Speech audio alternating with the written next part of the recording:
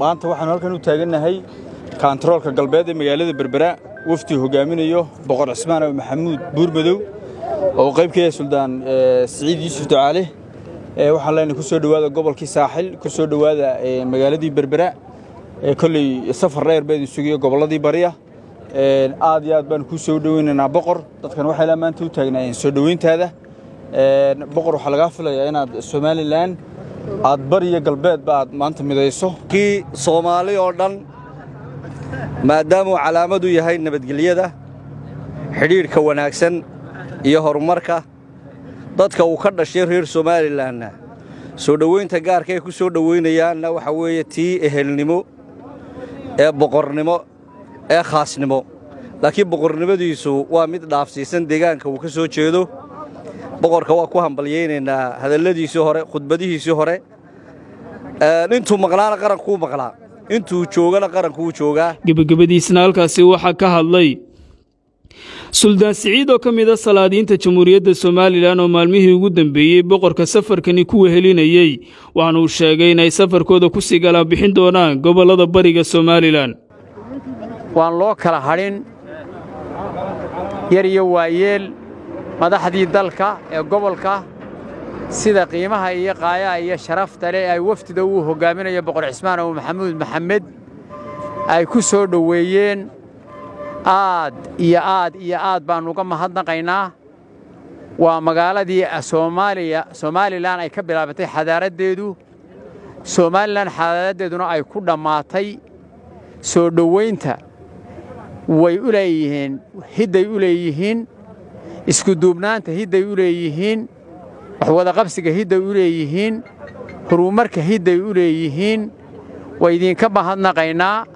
Boqorkana waan ku wareejin doonaayo kelmado gaagaaban buu maanta idin odhanayaa gebagabadii halkaasi waxaa ka hadlay boqor cismaan oo buurmadow waxaana u mahadnaqay dhallinyarada iyo dadweynaha halkani ku soo dhoweeyey oo ka warbixiyey safarkiisa iyo waxyaabaha uu salka ku hayo. Ganacsiga ka waday waa magaaladan in badan xoolaha ka dhoofinayay oo laygu yaqaanay waxa weeyaan waana magaalo aan odhan karo. Waa sidaa suldaan sheegay suldaan siciid sheegay magaalo xadaaradeed anigu berbera waxaan joogay iyadaan qabiil lahayn. Qofku yidhaahdo waxaan ahay reer berbera. Lagu abtirsado reer berbera. Dadka xadaaradda caynkaa leh iyadoo hindiyi joogto ma yeri anugu. Iyagoo bahaniyaal joogaan. Iyagoo dad badanoo kala duwani joogaan. Waa magaalo cid waliba ay timaaddo. Waa magaalo nabadgelyo.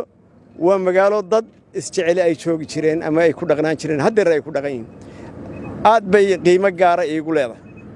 Haddii aan intaa ka gudbo muhiimadda safarkayaga waxaa sheegay suldaan siciid berbere waannu jeclayn inaan u soo dhaqsanno laakiin hargeysaa nagu dhegtay gebiley baa nagu dhegtay intii dambe waan ka cudur daarannay aad iyo aad baan dadka ugu wada mahadnaqaynaa safarkayago ilaa burco inaannu ku soconno ilaa dabeedna hawdkii aannu marro meelihii dagaalladu ka dhaceen oo dhan dadka dareenkooda iyo iyo xaaladdooda aannu ka war hello waxaan kale oo aannu go'aansannay berbere inaanan caawa dhaafin. Awal dee maadaamaannu safar ahayn magaalo la dhaafi karo maaha caawa idiin hoyayna laakiin waa idinka jarmaadaynaa aad iyo aad baa u mahadsantihiin annaga qorshahayaga hadafkayagu masajka aan gudbinaynay waxa weeye doorashadani inay nabadgelyo noogu dhacdo.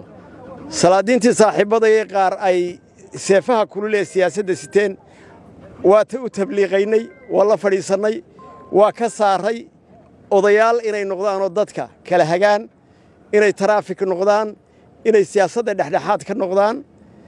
Qofku dareen iyo shucuur buu leeyahay. Kolley daqiiqadaha u dambeeya. Nin waliba dee waxa weye ninkuu taageerayo waa u furan tahay. Somalilanna waa dimuqraadi.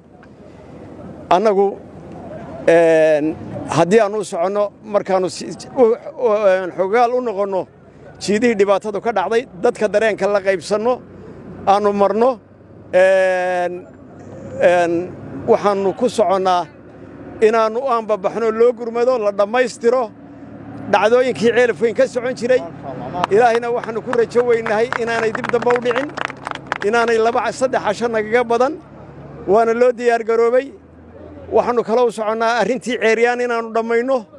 Magaalooyinkii lagu kala maqnaayoo dhan in laysugu yimaaddo arrintii ka dhacday dahabka iyo meesha la yidhaahdo xaysimo iyo arrimahaasoo dhan inaanu dhammayno. Dadku inay muddo yaroo kooban ku kala bogsadaan gurban ballaadhan oo dadka deegaannadaa degaa beelaha ay ka soo kala jeedaan iyo culimmadii iyo siyaasiyiintii iyo cid waliba isugu imanayso ayaan u soconnaa. Waxaan leeyahay xildhibaanku wuxuu yidhi tii hay'addana ta hay'adda waa la malaynayaa kollay maalmaha u dambaysa. Meel bay ku gororaysaa ismana khilaafi doonto. Wax dadka u dana dalka yaa u dana yaa wax ka qaban kara ummadda tan yaa difaaci kara. Wax wal meelo badan baa laga eegayaa. Yaa isku hayn kara dadka kan qulubtooda yaa isu jiidi kara. Marka la yimaadana washaawirhum fi lamri faidaa cazamta fatawakal cala allaahi baa iman doonta taasina waxa weeye wixii dalka u dana baa ku ducaynaysaan inay ka soo baxaan taana. Somalilanna dhammaanteed khayr baan u rajaynaynaa barwaaqaan u rajaynaynaa nabadgelyaan u rajaynaynaa. Ilaahayna waxaanu ka baryaynaa colaadahana inuuna ka kor qaado ganacsigana inoo furo inoo barakeeyo. Aad iyo aad baa u mahadsantii